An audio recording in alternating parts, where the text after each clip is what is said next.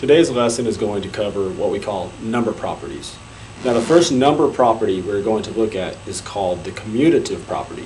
And now, the key word in commutative property is commute. If we think about commuting to go somewhere, you go there and then you come back. All of you commuted this morning to school. You came to school and hopefully you're all going home. So let's have a look at an example of the commutative property. Let's say, for example, I have the problem 5 plus 3. I could switch the places of the numbers and still come up with the same answer. We know that 5 plus 3 is 8.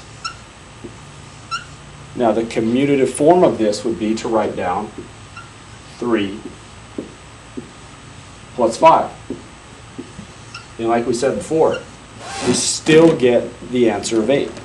So commutative property for addition, it's writing down a problem and getting an answer, switching the places of the numbers, and still coming up with the same answer. We know that addition has a commutative property because it doesn't matter which order the numbers are in, we're going to come up with the same answer either way. Now addition is commutative, but multiplication problems can be as well. Let's have a look at one of those. Let's say we have 3 times 5. We know that that's 15. Now, commutative property of multiplication would be similar to addition, where we just switch these numbers. Let's make it now, say, 5 times 3, which is also 15. The numbers have changed places, but we still have the same answer. So whenever we're working with commutative property, we know that it can be addition or multiplication. And we can go from one place to the other and still have the same answer. Next, we're going to look at something that's called the associative property. When looking at the associative property, we have to think of the word associate. If you associate with somebody, you're friends with them, you hang out with them. An associative property is similar to that because we're going to have numbers that are grouped. And if they're grouped, we can think of them as hanging out with each other. So let's have a look at the associative property. Let's say we have 1 plus 2 plus 3. We know we're going to come up with an answer of 6. 2 plus 3 is 5, plus 1 is 6. Now, if we use the associative property, what we're going to do is regroup the numbers. The problem won't change, so therefore we're still going to come up with the same answer. So we read this one as 1 plus 2 plus 3. Okay, now I'm just going to come up with a new group. Let's say I start with my group this time. 1 plus 2 plus 3. 1 plus 2 is 3. 3 plus 3 is 6. So we came up with the same answer. Remember, to associate means to be with, to hang around. So these numbers are hanging around each other.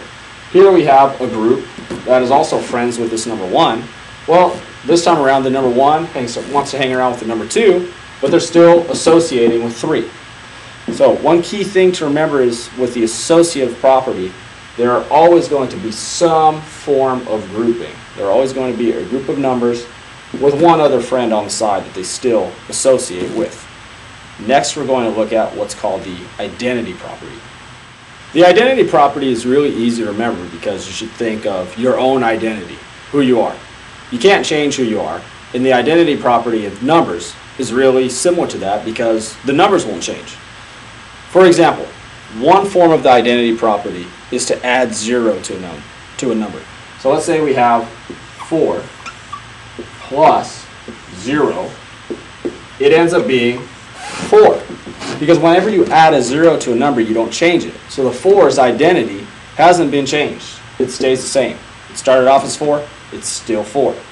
We can also use multiplication for the identity property, and it's by multiplying a number times 1. So this is what the identity property of multiplication looks like. Let's keep this 4, but now I want to multiply it by 1. 4 times 1 remains 4. Whenever you multiply a number by 1, it's unchanged. So this 4 its identity hasn't changed. So what you need to remember for the identity property is, it's either adding zero to a number, because it won't change, or multiplying the number by one, because it won't change. So the identity property is a property where the original number doesn't change. Last but not least, we're going to look at something that's called the distributive property. Now, if you think of distributing, you're passing things out, you're sending it somewhere. In the distributive property, what we're going to want to do is pass or hand out this number because I want to multiply it by the other numbers in the problem. Now, if we look at this problem, it's asking us, what is 2 times 15?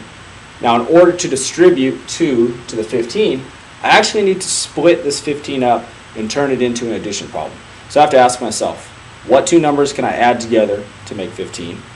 Or I can ask myself, what's the place value of the 1 and what's the place value of the 5? Well, this is a kind of easy one. We know that 10 plus 5 is 15, so that's my addition problem. I'm going to rewrite it here. The 2 stays the same. The 2 times, we said 15 could be 10 plus 5. So it now ends up being 10 plus 5. And now what I want to do is take this 2 and distribute it to both of the numbers. So the multiplication stays the same. First problem, 2 times 10. I'm going to distribute it out. That ends up being 20. Now I want to take my 2 and distribute it out to the other number. 2 times 5 is 10.